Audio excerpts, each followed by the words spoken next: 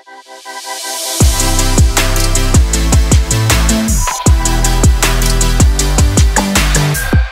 du lyst på en sterk, komfortabel og stabil traktor? Da er Claes Arion 600 traktoren for deg.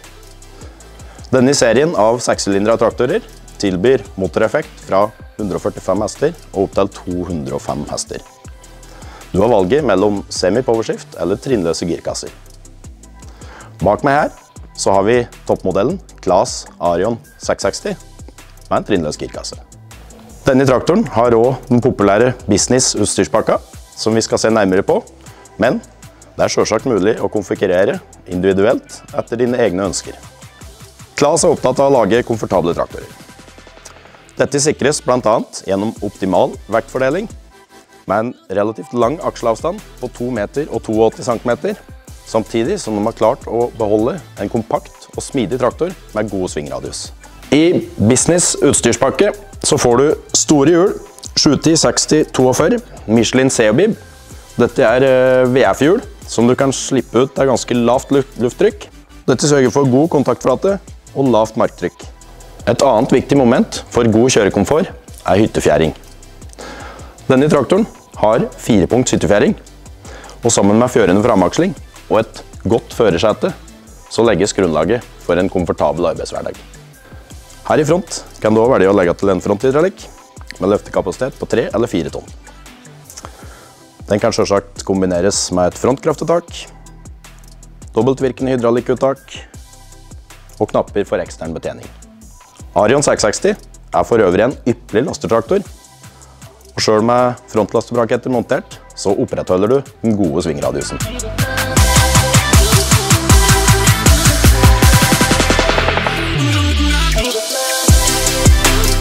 Uavhengig av om det er en finsnitter, en trøsker eller en traktor, så må Claes ut i markedet for å finne passende motorer til sine maskiner.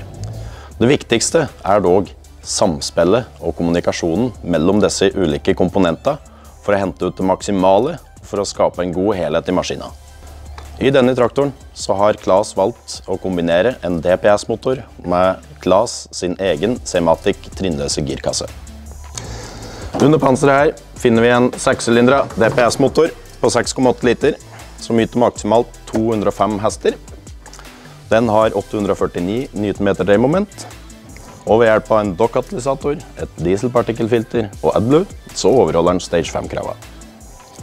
God utnyttelse av effekten i motoren krever god kjøling og god rensing. I 600-serien så kjører Klas på et Powercore luftfilter med syklonfilter i bånn. Stor kjølepakke med enkel tilgang for rensing gjennom støvete dager.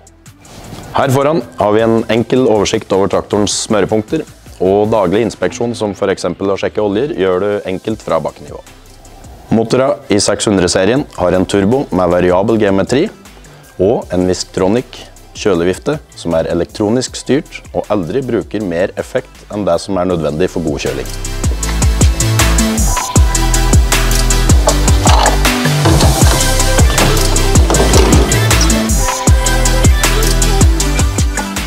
Her i front har vi fire kjørelys, og oppå hytta så har vi høytsittende kjørelys.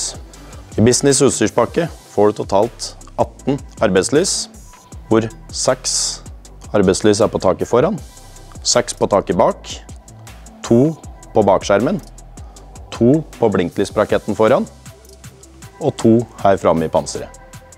Alt av lys er i ledd. Her på høyre stigtrinn så har vi et låsbart skap som skjuler både batteri og en hendig verktøyskuff, hvor du kan oppbevare både kuler og bolter og motorvarmer eller annet nyttig verktøy. Trekkarma her bak, de løfter 8000 kg. Vi har en hydraulisk utskytbar trekkrok, og business utstyrspakke inneholder en 150 liters LS-pumpe fire dobbeltvirkende hydraulikkuttak bak og to midtmonterte foran. Alle uttak på traktoren er godt merka, sånn at det er lett å finne tilbake til dem inne i hytta. Samtlige uttak bak har også en trykkutløser, som gjør det enkelt å koble fra og til hydraulikkslanger. Her på høyre side av toppstaget har vi tilkobling for LS-uttak. På venstre side så har vi tilhengerbremser, både med luft og hydraulikk. Vi har trepola, sjupola kontakt og isbusskontakt. Med business utstyrspakke så får du råtøffe LED kjørelys bak. Under der, på begge skjermene bak, så har vi betjening av kraftuttaket, stopp og start, valgfritt hydraulisk uttak og betjening av løftearmer opp og ned. Alt lett tilgjengelig for å jobbe i området her bak. Før vi ønsker velkommen inn i førerhuset, så ønsker jeg å påpeke noen smarte detaljer her på venstre side. Blant annet enkel påfylling av AdBlue, enkel peiling av hydraulikk og transmisjonsolje, samt uttak for trykkluft, som enkelt gjør at du kan f.eks. blåse rein kjølevifta.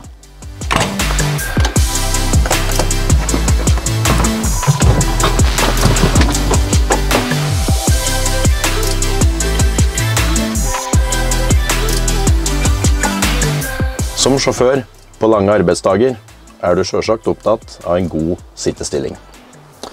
I en Class-traktor har du en pedal nede ved gulvet som du trykker inn for å dra rattet til deg. Samtidig så har du en hendel på høyre side som du bruker for å justere høyden opp og ned. Når du så skal stige ut av traktoren, trykker du enkelt på pedalen ved gulvet, og rattet går opp. God sittestilling avhenger også av et godt førersete. I business utstyrspakke så får du med et godt grammersete som har mye justeringsmuligheter. Varme, ventilasjon, god sving og ikke minst en justerbar nakkestøtte som gjør at du får god sikt bakover. Passasjersetet er bredt og komfortabelt.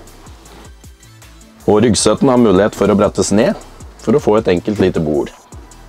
Samtidig så har du en liten oppbevaringsplass inni ryggstua.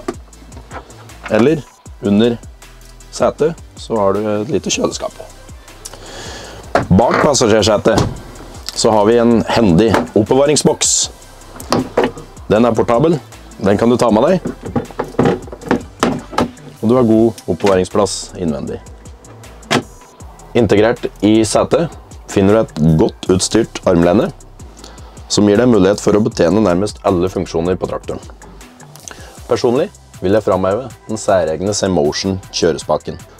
Ventilasjon ligger veldig godt i hånda. Mulighet for ti fritt konfigurerbare F-taster, der du kan konfigurere både tipputtak, motorturtasjminne eller andre relevante funksjoner.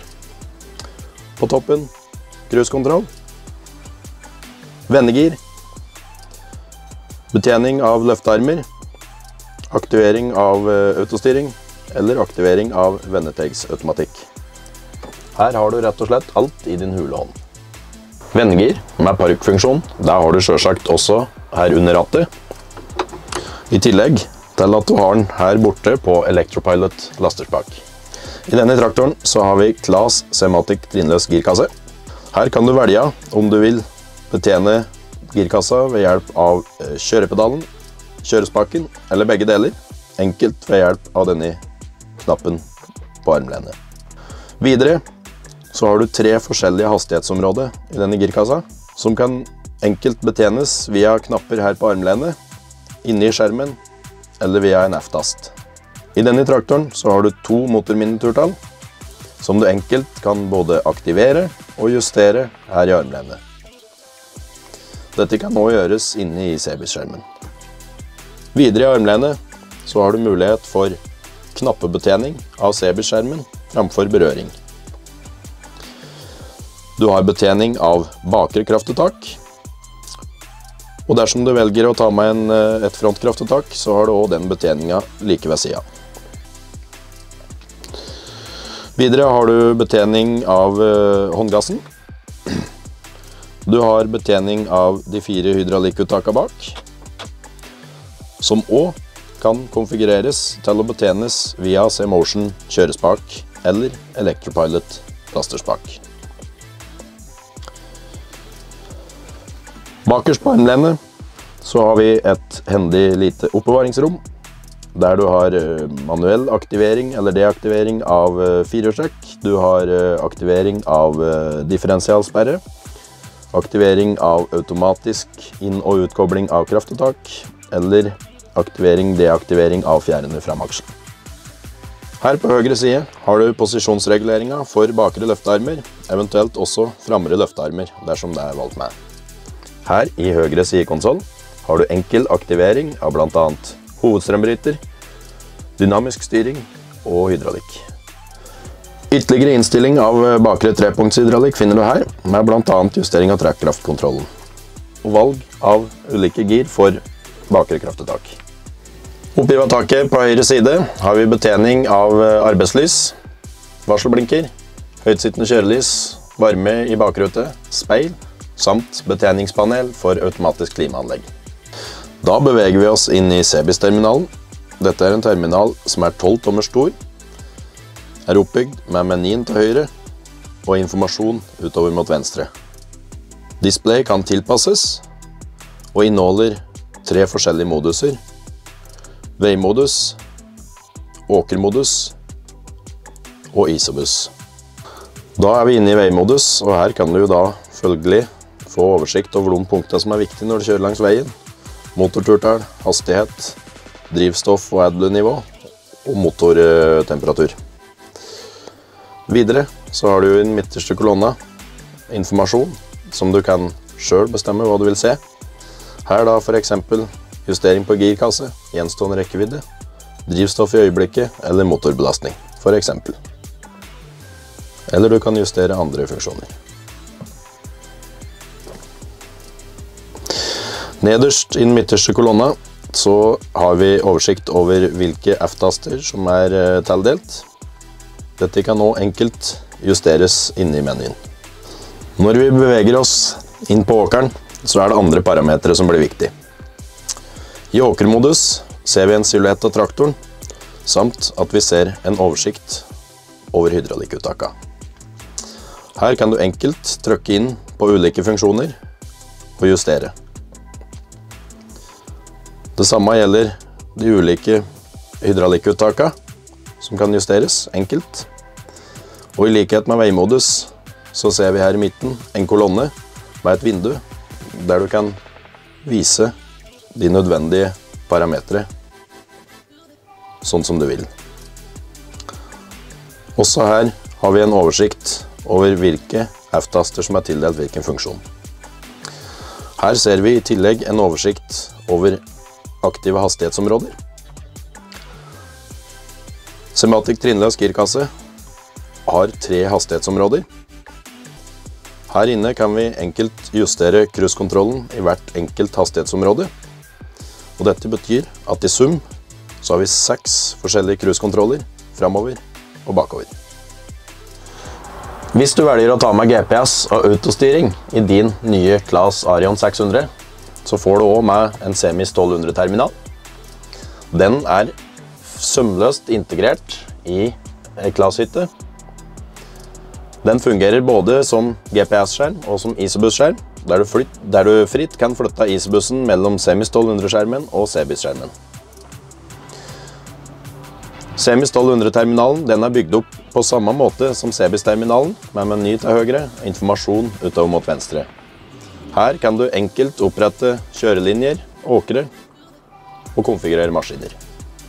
I dagens traktorer, der vi skal ha oversikt over både GPS, isobus og en maskin med mange innstillingsmuligheter, så er det en åpenbar fordel med to terminaler som har et likt brukergrensesnitt og som er enkle å betjene. Da håper jeg du har fått et godt innblikk i hva Claes Arion 660 har å by på. Dette er en veldig populær modell for Claes i Norge. Og norske kunder framhever at det er en kraftfull og kompakt traktor som tilbyr god kjørekomfort.